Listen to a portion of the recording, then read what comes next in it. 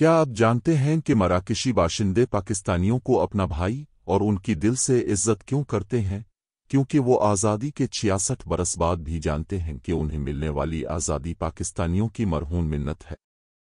वाजह रहे कि मराकश बहरा रोम के दाखिली रास्ते पर होने की वजह से 1830 के बाद यूरोप की दिलचस्पी बढ़ने लगी। 1906 में यहाँ फ्रांस और स्पेन के मुश्तरका कब्जे को तस्लीम कर लिया गया। आज़ादी से कबल मराकश 1912 से 1955 तक फ्रांस की कॉलोनी में शामिल रहा।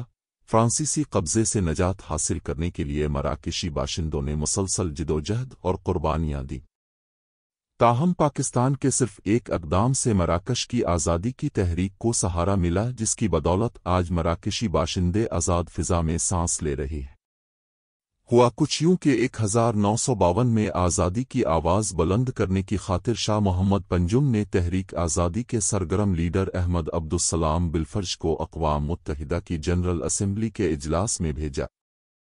जनरल असम्बली के इजलास के मौके पर जब अहमद अब्दुलसलाम बिलफर्ज सिक्योरिटी काउंसिल में अपनी कौम की नुमाइंदगी करते हुए आज़ादी का नारा बुलंद करने के लिए खड़े हुए तो वहाँ मौजूद फ्रांसीसी नुमाइंदे ने यह कहकर खामोश करवा दिया कि वो फ्रांसीसी कॉलोनी का हिस्सा हैं, इसलिए उन्हें इस प्लेटफॉर्म से खिताब करने का हक हासिल नहीं।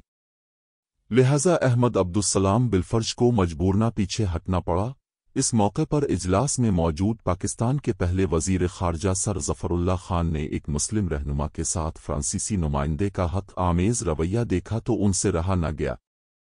सर जफरुल्ला खान ने रातों रात अहमद अब्दुलसलाम बिलफर्ज को न सिर्फ़ पाकिस्तानी शहरियत की पेशकश की, बल्कि खुद रात गए न्यूयॉर्क में कायम पाकिस्तानी सिफारत खाना खुलवाकर उन्हें पाकिस्तानी पासपोर्ट जारी करवाया।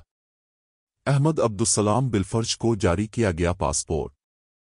इसी शहरियत और पासपोर्ट की बुनियाद पर उन्होंने अगले रोज होने वाले अकवाम मुतहदा के इजलास से खिताब किया और मराकश की फ्रांस से आज़ादी के हक में आवाज़ बुलंद की, जिससे मराकश की आज़ादी की तहरीक में नई रुपड़ी और बिलाखिर उन्नीस नवंबर एक हज़ार नौ सौ छप्पन को मराकश फ्रांस के तसल्लुत से आज़ाद हो गया।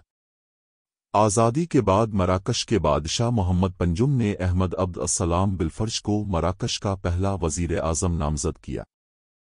अहमद अब्दुलसलाम बिलफर्ज आज दुनिया में नहीं, मगर वो जब तक वज़ीर आज़म के मनसब पर फाइज रहे, उन्होंने अपने दफ्तर में पाकिस्तानी पासपोर्ट की कापी आवेजा रखी। वो अपने दफ्तर में आने वाले हर शख्स को पाकिस्तानी पासपोर्ट दिखाते हुए बड़े फख्र से बताते थे कि मराकश की आज़ादी की तहरीक में पाकिस्तान और पाकिस्तानी पासपोर्ट ने इनकी बड़ी मदद की। अहमद अब्दुलसलाम बिलफर्ज को जारी करदा पासपोर्ट की कापी जो उनके दफ्तर में आवेजा है। अहमद अब्दुलसलाम बिलफर्ज को जारी करदा पासपोर्ट की कापी जो उनके दफ्तर में आवेजा है।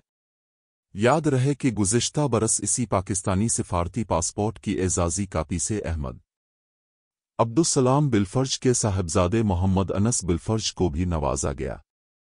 अगर आपको हमारी ये वीडियो पसंद है तो हमारे चैनल को ज़रूर सब्सक्राइब करें।